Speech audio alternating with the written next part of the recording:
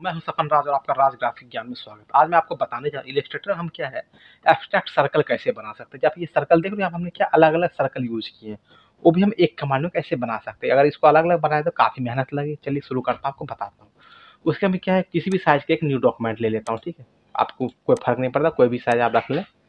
उसके बाद मैं क्या करता हूँ यहाँ पे? एक मैं यहाँ आउटलाइन लेता हूँ। फिल को मैं नन कर देता हूँ। यहाँ से फिल को मैंने नन कर दिया। आउटलाइन कलर आपको जो भी रखना है, आप यहाँ से इजीली रख लें। उसके बाद यहाँ से लाइन टूल लिया। लाइन को बड़ी कर रहा हूँ। और यहाँ से लाइन की थिकनेस आप मैं थोड़ी बढ़ा देता हूँ, जिससे आपको दिख जाए। ठीक है? मैंने इतनी कर दी है।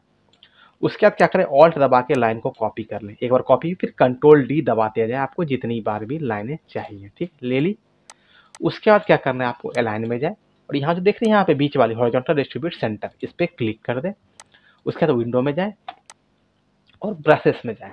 जाने के बाद आप क्या करें यहाँ पे? या तो यहाँ पे न्यू ब्रशेस कर दे या फिर यहाँ से प्लस कर दे, एक ही बात है।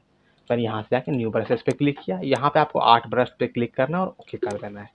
और इसे यहाँ पे सेटिंग में आपको कुछ भी नहीं करना, बस ओके रखना है। जैसे ही करेंगे आपका ये यहाँ पे जो आपने डिज़ाइन बनाया ये ब्रश में आपका ऐड हो गया। अब इसको आप डिलीट मार दिए इसकी ज़रूरत नहीं है।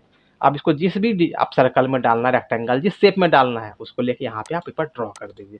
और बस पे क्लिक कर दीजिए। आपका ये जो ब्रश है, आपका बन के तैयार। जैसे आपको यहाँ थंबनेल में दिखाया था मैंने, आपका बन के तैयार है। आपको बस अगर कुछ घुमाना फिराना है, आपको जैसे घुमाना यहाँ से इजीली आप घुमा फिरा सकते हैं। आपकी मर्ज़ी है, जिस एंगल में आपको घुमाना है।